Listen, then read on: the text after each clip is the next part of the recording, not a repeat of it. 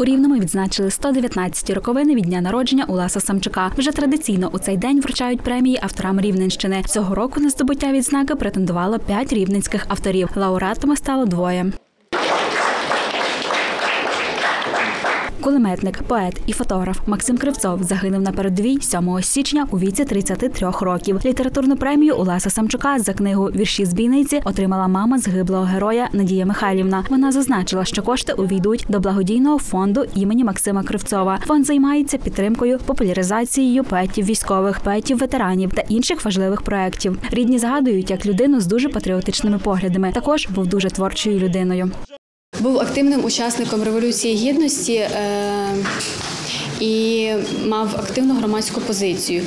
І відразу після закінчення революції він е, відправився, е, долучився до лав правого сектора. Він писав, фотографував.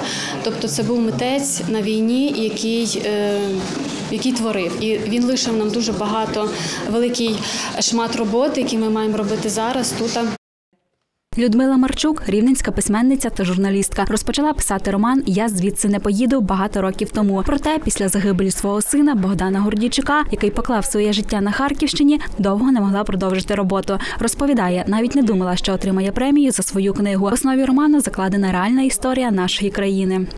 Коли перший е, рік е, нашої незалежності, в 92-му році, приїхали до нас вперше люди з діаспори, це наші ті люди, які були воїнами УПА, яким вдалося утекти від репресій. І в цій книжці, розумієте, в цій книжці наша історія 40-ві, 90-ті і нинішня війна. Цьогоріч лауреатами премії Уласа Самчука стали люди, яких безпосередньо торкнулася війна. Максим Кривцов, який загинув на фронті. Втім, навіть там продовжував писати та популяризувати українську культуру. Людмила Марчук, мама загиблого героя, яка змогла себе взяти в руки та закінчила свій роман, який і відзначили літературною премією. Людмила Жук, Христина Дарморост, Павло Стецюк. Новини Рівного.